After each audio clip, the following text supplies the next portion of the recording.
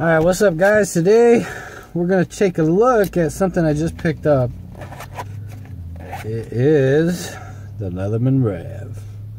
And this is gonna replace probably the most best multi-tool on the market.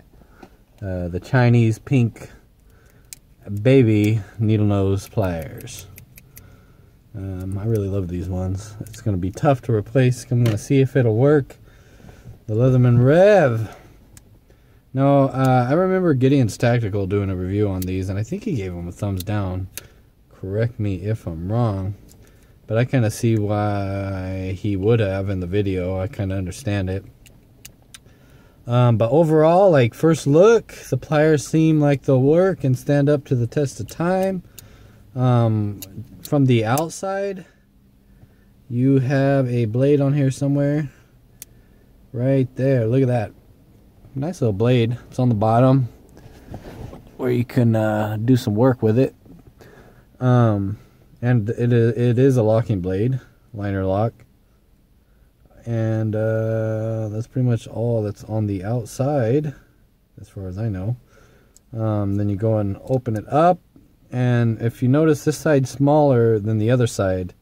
So it kind of makes this pair of pliers kind of awkward. But on this uh, smaller side, you got your Phillips and flathead there. And they both are like uh, kind of like lockbacks kind of deal. Or uh, they got kind of a lock to them in there. Uh, line, or what do they call that? I forgot, I forgot the name of it.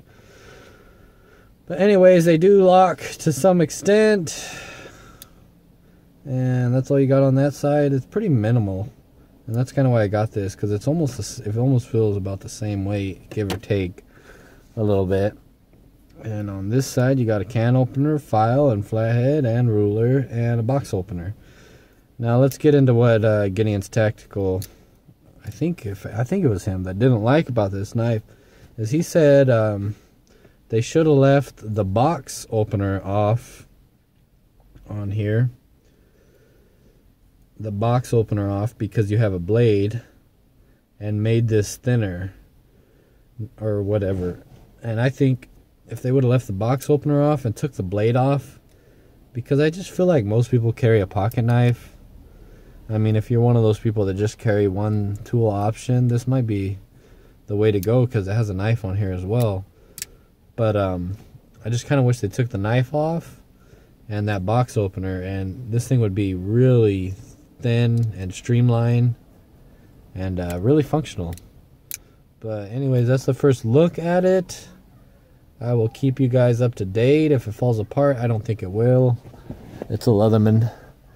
So, you know, it's probably going to be alright. I really like the clip on it. It's kind of loose, but I kind of like how easy it is to slip on and off your pants.